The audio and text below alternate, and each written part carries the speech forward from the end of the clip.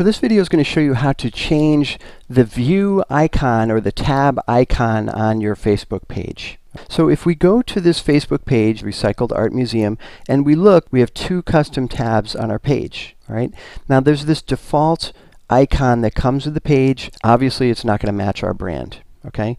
We want to upload new images to replace these two images, okay? And the way that you do that is you click on the down arrow to the right of these four tabs. That will expand all the tabs.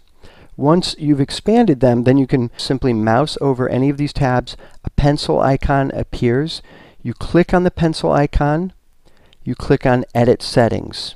Okay, This is where you can change the name of the tab. All right, so this is, we'll just call this Hi There.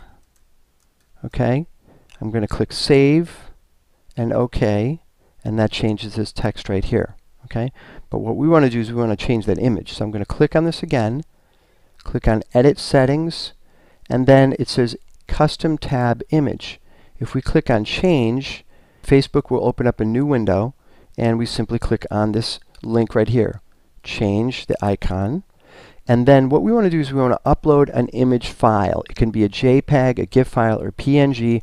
The dimensions, by the way, should be no larger than 111 by 74 pixels. Okay, so that's 111 pixels wide by 74 pixels tall.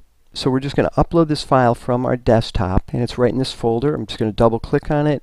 It uploads the image and instantly changes it. I can simply close the browser tab. We go back to our page. I click on OK, and then the image updates right there.